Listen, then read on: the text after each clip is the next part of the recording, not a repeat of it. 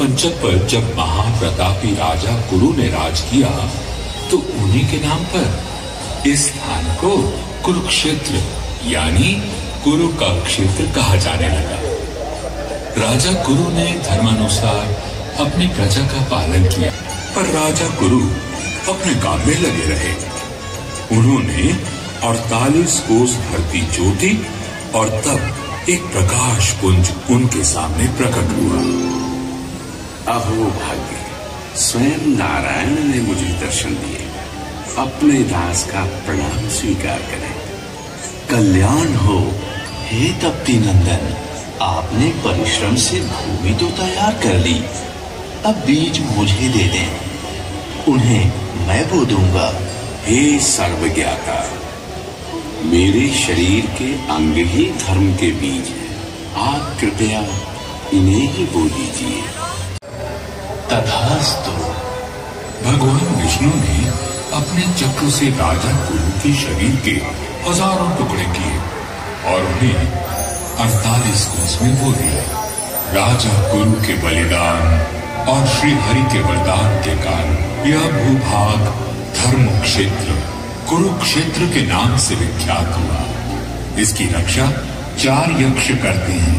और यहाँ की उड़ी हुई धूल के कण भी पापी को परम पद देते हैं। समय आने पर ग्रह, नक्षत्र एवं तारागण भी आकाश से गिर जाते हैं। किंतु वे जो कुरुक्षेत्र में मरते हैं, पुनः पृथ्वी पर नहीं गिरते। अर्थात वे पुनः जन्म नहीं लेते। अच्छा तभी कुरुक्षेत्र को धर्म क्षेत्र भी कहते हाँ।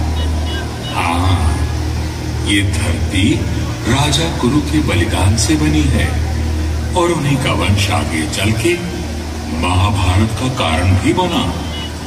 वो कैसे?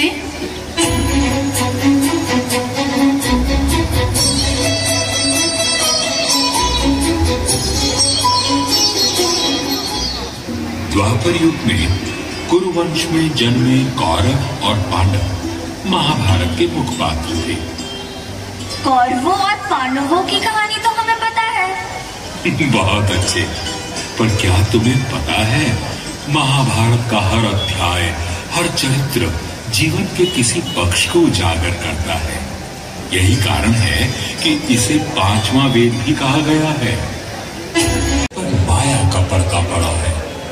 ऐसी बुद्धि से सौ तरह की कुरूप मनोवृत्तियाँ और इच्छाएँ जन्म लेती हैं, जो दुर्योधन और उसके भाई हैं।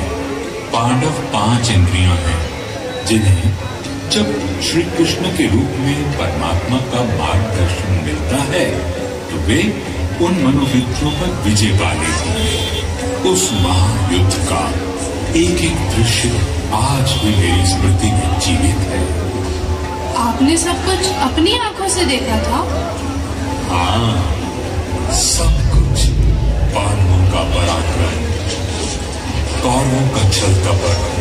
अभिमन्यु की वीरता और वध बाणों की शैया पर लेटे भीष्म की शिक्षा।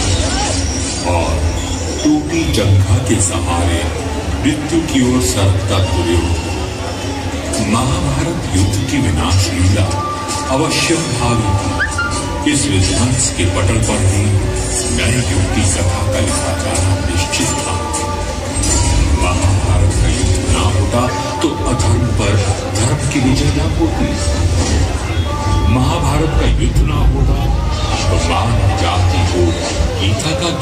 ज्ञान